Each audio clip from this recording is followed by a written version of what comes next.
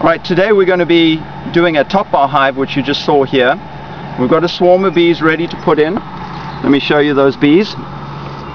Here they are, whole swarm of bees. Probably hear the noise.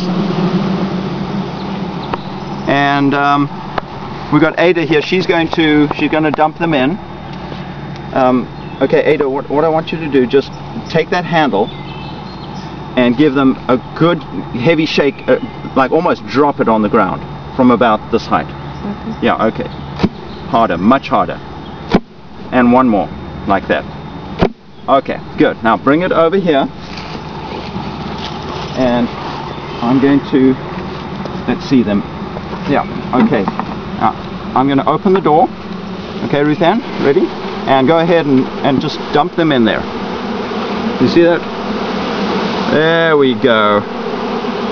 All right, super. Right, take that out. Okay, have a look at the bees here.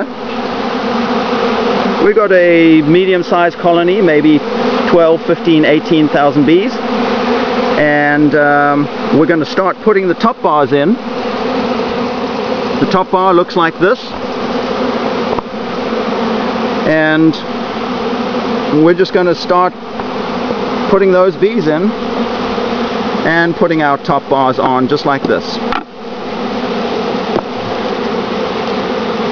Okay, Ada, if you want to just start that side, just start that side. Just like it's that. fine if you squish a few. Yeah, don't worry if you mm-hmm. squash a couple. No.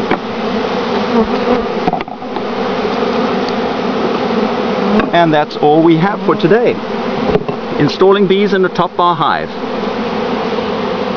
Bye for now.